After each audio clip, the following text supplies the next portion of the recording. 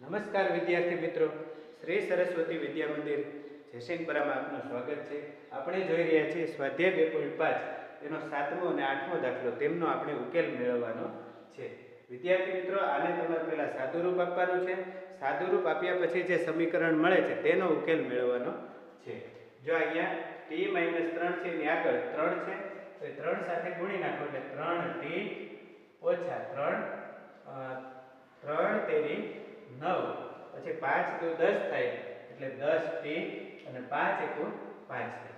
વિદ્યાર્થી મિત્રો, પછી દસ ટી ને બાજુ લેજો નવ ને આ લેજો એટલે તો શું થશે? ત્રણ ટી ત્રણ ટી ઓછા દસ ટી બરાબર પાંચ વત્તા નવ થાય છે. હવે ત્રણ ટી ઓછા દસ ટી એટલે ઓછા સાત ટી બરાબર ચૌદ થાય છે. અને તેથી ખાલી ટી બરાબર શું થાય? ચૌદ ના છેદમાં માઇનસ સાત સાત દુ ચૌદ એટલે માઇનસ બે થઈ છે અને તેથી ટી બરાબર માઇનસ બે. આવી રીતનો આપણને જવાબ મળે છે. વિદ્યાર્થી મિત્રો, ત્યાર પછીની જે આ રકમ છે, તે આપણે જોઈએ. પહેલાં એનું સાદુરૂપ આપશું. અને સાદુરૂપ બહુ સીધું છે. પંદર અને વાય એટલે પંદર વાય.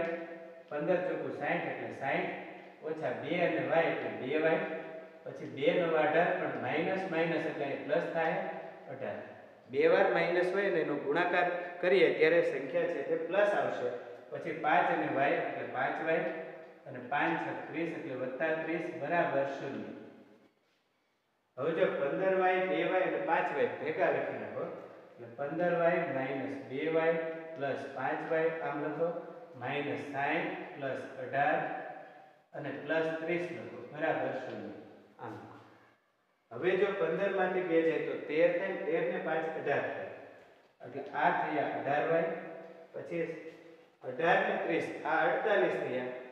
તો 60 માંથી અડતાલીસ જાય તો માઇનસ બાર થાય. જો અઢાર ને ત્રીસ અડતાલીસ, પણ માઇનસ સાઠ છે. એટલે માઇનસ નિશાની મૂકો અને 60 માંથી અડતાલીસ, એટલે 10 માંથી આઠ જાય બે, અહીંયા પાંચ થાય પાંચમાં ચાર જાય એક, એટલે માઇનસ બાર થાય. બરાબર, શૂન્ય થયું હવે બાર ને તેની બાજુ લઈ જાય અઢાર વાય બરાબર બાર થાય તેવી રીતે વાય બરાબર શું થયું? બારના છેદમાં અઢાર. બારના છેદમાં શું થયું? અઢાર થયું. એટલે હવે વિદ્યાર્થી મિત્રો આપણે જોઈએ આ દાખલો કે બારના છેદમાં અઢાર એટલે છ દુ બાર અને છ તેરી અઢાર. આમ થયું છ છ ઉડી જતા. આપણને જવાબ મળ્યો વાય બરાબર બેના છેદમાં ત્રણ. આ રીતનો આપણને જવાબ મળ્યો. વિદ્યાર્થી મિત્રો, દાખલામાં પહેલા સાદુરૂપ આપવું તે ખૂબ મહત્વની વસ્તુ છે. કૌંસની અંદરની બંને રકમ સાથે કૌંસની બહારની રકમ હોય તેનો ગુણાકાર થતો હોય છે. તેમાં આપણે ચીવટ રાખવાની, નિશાની મુક્તિ વખતે પણ ચીવટ રાખવાની, તો આપણને સમીકરણનો ઉકેલ મેળવવાનું અઘરું લાગશે નહીં. નમસ્કાર.